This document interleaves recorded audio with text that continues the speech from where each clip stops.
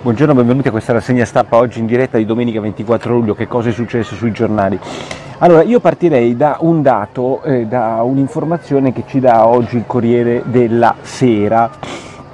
sulla eh, situazione dell'immigrazione, prendendo i numeri dell'Istat. Il solito tema dell'immigrazione, quello della sera, eh, lo affronta sempre con eh, una certa attenzione, posto che oggi lo mette in prima pagina, col pezzo commentato da Fubini, immigrati senza istruzione, cioè la tesi del Corriere della Sera, valorata da quei dati del, dell'Istat, è che in Italia arrivino immigrati senza istruzione, quindi immigrati che potenzialmente sono meno utili al nostro Paese, a differenza di quanto avviene in Germania, in Francia, in altri paesi in cui i loro immigrati sono laureati, mettiamola così, comunque sono decisamente più istruiti dei nostri. Questa è la tesi del Corriere della Sera. La prima, la prima riga del pezzo è la seguente, in prima pagina, non siamo invasi dai migranti. È una frase sbagliata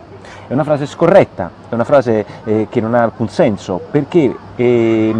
eh, si vuole sempre dare un cerchio alla botte, come si dice, cerchio, una botta al cerchio e alla botte, o avere la moglie eh, drogata e la siringa piena, oppure mettete voi il luogo comune che vi piace di più. È una stupidaggine, perché poi quando si va a leggere il pezzo, eh, in cui la tesi fondamentale, quella che io condivido e che tutti ovviamente condividono, e poi vedremo i numeri esatti che i migranti italiani irregolari, peraltro per gran parte sono eh, addirittura per un quarto analfabeti, analfabeti non conoscono l'alfabeto, beh, il tema fondamentale è quando si va a parlare di migranti, le statistiche dell'Istat, come evidente, non tengono in considerazione gli, gli irregolari, cioè la gran parte delle persone che vengono in Italia non ottengono il diritto all'asilo o allo status di rifugiato. E allora di che cacchio stiamo parlando? Di che cavolo stiamo parlando? Cioè il, il dato è ancora peggiore, cioè c'è l'invasione e l'invasione è fatta da gente che non ha una scolarizzazione decente, va bene? Ci sono entrambe le cose, quindi non c'è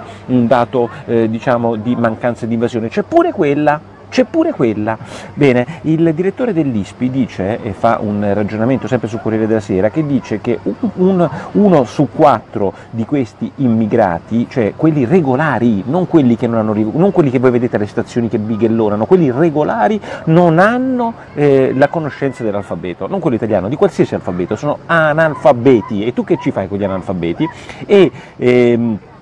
e, e, e, ci ricorda poi un altro dato fondamentale e incredibile che il 5% degli immigrati in Italia sono minori non accompagnati. Io immagino che questi siano gli irregolari, ma comunque sia, il fenomeno raccontato da questi numeri è molto più grave di quanto si possa immaginare. Andiamo avanti sulle questioni diciamo più o meno politiche. Quando tu vedi eh, i sondaggi, e oggi il Corriere della Sera ne pubblica un altro sul centrodestra, centrosinistra, Movimento 5 Stelle, ti chiedi come mai il centrodestra vada ancora ancora avanti e in particolare nonostante le minchiate catastrofiche eh, de, di Forza Italia, penso per esempio a questa deriva animalista, tutti noi animiamo, amiamo gli animali, ma pensare che ci sia un partito animalista mi fa sorridere, però nonostante queste eh, derive diciamo non populiste, demenziali secondo me, ma eh, Forza Italia guadagna e arriva al 15%, e il centrodestra arriva al 35%, quindi supera abbondantemente il 29% eh, del Movimento 5 Stelle mi sembra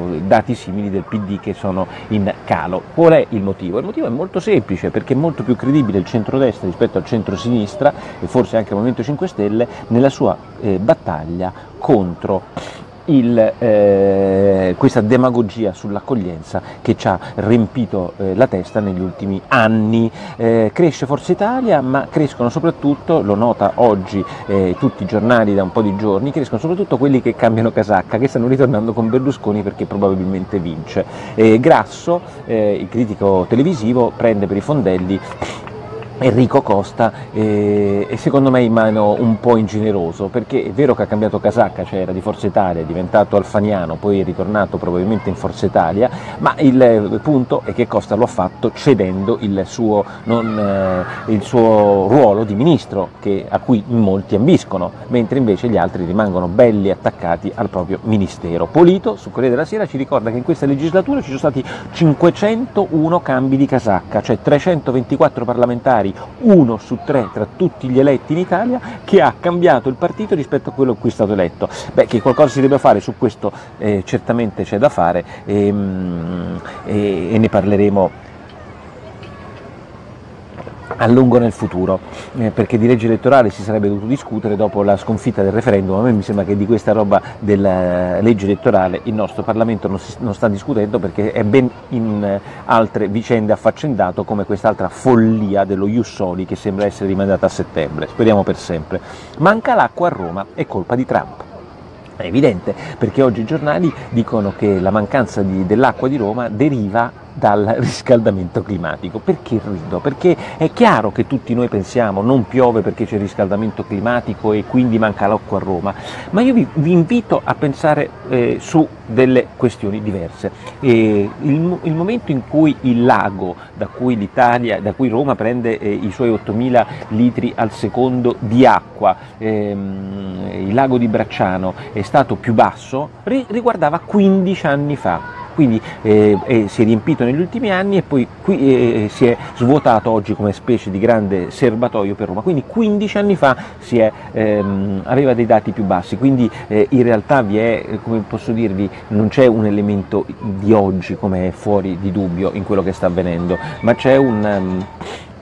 un, un, un, percorso più ampio. Uno potrebbe dire, beh, è proprio questo il riscaldamento climatico. Allora vi chiedo e mi chiedo, com'è possibile che Roma abbia il tasso di dispersione degli acquedotti, bravo, l'acqua e gli sprechi di Roma più alto eh, di Italia? Com'è possibile che al 45% il tasso di dispersione contro la media dell'Italia 35% come leggete oggi sui giornali? E ancora, com'è possibile che i romani utilizzino 300 litri di acqua contro i 245 che è la media nazionale? Allora, quello che voglio dire, prima di pensare a Trump, al riscaldamento climatico e a tutti questi grandi eventi, forse i nostri compiti a casa li dobbiamo fare, utilizzare l'acqua con serietà e soprattutto non sprecarla con i buchi negli acquedotti. Ovviamente noi abbiamo pensato che l'acqua debba essere pubblica, res nullius, non ci saranno mai i soldi per rimetterli a posto siamo contenti così. Cassese e Pane Bianco bisticciano sui principi della Costituzione ehm, perché eh, Pane Bianco dice eh, che la Costituzione è fatta mh, mm, con, da persone che non tutte aderivano ai principi di libertà, Cassese dice non è vero, è una costruzione di compromesso, ma non si può dire una cosa di questo tipo. Io penso che stiano parlando della preistoria, eh, ormai la Costituzione, che non è la più bella del mondo, è la Costituzione di, eh, dei nostri nonni, neanche dei nostri genitori, è superata dal mondo, che sta andando verso tutta un'altra direzione. Oggi basta leggere i giornali la storia di Alex Cases, che voi dite ma chi cavolo è? È un signore che si è impiccato a 25 anni in un carcere a Bangkok. Questo signore cosa faceva? C'è oggi sui giornali, questo signore eh, che si è impiccato in un carcere a Bangkok era diventato milionario, gli hanno trovato 50 milioni, 30 milioni di euro, attraverso il dark web, cioè uno strumento eh, che non è a tutti noto, ma che è pazzesco, per il quale attraverso il web si possono fare eh, shopping come eBay, la sua società si chiamava Alpha eBay ed era una presa in giro di eBay, si può comprare donne, prostituzioni, armi, droga. Voi dite com'è possibile? C'è una specie, ci sono una serie di programmini che fanno entrare in questa specie di rete nascosta come fossero i bassi fondi dei porti di anni fa. Ci sono i bassi fondi della rete, con questo programmino entri nei bassi fondi della rete, non sei individuato, esiste privacy totale, non valgono gli IP, non ci sono i tuoi indirizzi. Insomma, la storia di questo signore che si è impiccato a Bangkok nasce dal fatto che viene pizzicato perché vuole rimorchiare su un sito internet e pubblica una sua foto con la Porsche dicendo qua in Thailandia si rimorchia con la Porsche e commette l'errore non di vanità, non di rimorchio, ma dire qua in Thailandia e lo beccano l'Interpol e l'FBI in Thailandia grazie alla sua vanità e alla sua forse sfigataggine perché solo con la Porsche riusciva a rimorchiare. Detto questo, voglio dire, il mondo sta andando in una rivoluzione talmente ampia che probabilmente la nostra Costituzione, i nostri padri costituenti non potevano né immaginare né sanzionare. Addio alla Tobin Tax in Europa, dice il Sole 24 Ore, invece l'Italia è la fenomena. L'Italia è l'unico paese insieme alla Francia che ha messo questa imposta assurda, cretina, deficiente, teoricamente sbagliata, che si è inventato in un momento di liberal il signor Tobin, premio Nobel per l'economia, immagino, e è un'aliquota del 0,10% su tutti gli scambi fatti in borsa in Italia sulle società che hanno più di una certa dimensione, soltanto il giornalista del Corriere della Sera, che peraltro io stimo perché Moria Longa fa dei pezzi stupendi, ma che dà il senso del fatto che ci sia un'ideologia all'interno dei nostri giornalisti che dice che eh, nella teoria è la più giusta delle tasse. No, caro Longo. Secondo me anche in teoria non è la più giusta delle tasse, ho provato a scriverlo tante volte, fai un bellissimo pezzo, fai un grande lavoro, ti lasci sfuggire questo, eh, come possiamo dire, retropensiero che è, corret- è scorrettissimo. Poi ovviamente eh, Tobia, ehm, eh, Moria Longo dice che poi nella pratica è stata adottata mal- malissimo, ma l'idea che nella teoria sia giusta una tassa sulle transazioni finanziarie per punire coloro che, eh, che fanno transazioni finanziarie speculative da miliardi di euro è soltanto il residuo ideologico di un mondo industriale che non riesce a concepire la finanza come ad esempio gestione del risparmio gestito che vale miliardi di euro. Il risparmio gestito cos'è se non nostri risparmi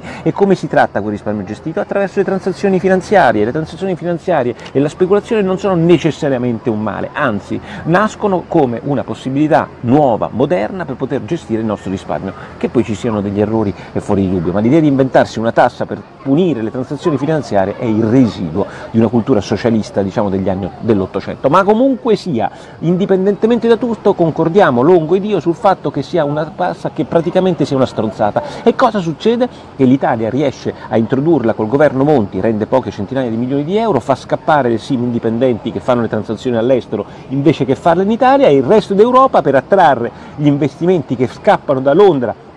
che ha fatto Brexit, il resto dell'Europa che ci ha chiesto a noi di fare la Tobit Tax, sapete che dice? Niente Tobit Tax. I fenomeni, questo è il montismo, questo è Monti, è la genialità di aver fatto i primi della classe ed essere i fottuti, un po' come avevo fatto con Frontex sugli immigrati grazie a Renzi. Mafia Capitale, ehm, due gli articoli che vi segnalo oggi, quello di Travaglio sul eh, Fatto Quotidiano e quello di Sgarbi, che sono molto simili anche se ovviamente con lati e prospettive diverse. Travaglio dice divertente questi PM che possono possono parlare, come il caso di Pignatone che critica la sentenza, quando altri mh, magistrati quando hanno parlato, si riferisce al caso delle intercettazioni di Mancino con, con il Quirinale, in, negli altri casi quando i magistrati hanno parlato il CSM ha subito aperto un'istruttoria nei loro confronti, quindi se la prende con il fatto che su Pignatone nessuno gli apre un'inchiesta come hanno fatto con gli amici suoi. Diverso il punto di vista di Sgarbi che dice, ma molto simile se volete, dice le sentenze non si discutevano, così mi sembrava che fosse detto quando si guardavano Berlusconi. Pignatone, dice Sgarbi sul fondo del giornale, è come Berlusconi, cioè contesta una sentenza che a lui non è piaciuta e Roma è, secondo eh, Sgarbi, una sede disagiata perché non ha la mafia come la Calabria o come la Sicilia e quindi i magistrati avrebbero voluto essere capi delle procure in una sede non disagiata ma una sede finalmente mafiosa in cui i loro poteri e le loro forze di indagine fossero simili a quelle della Sicilia e della Calabria. Con questo sottile filo del paradosso comunque il pezzo di eh, eh, Vittorio Sgarbi è decisamente molto godibile. Oggi sul giornale direi che per oggi è tutto, vi auguro una buona domenica e, mm, e noi ci vediamo eh, domani.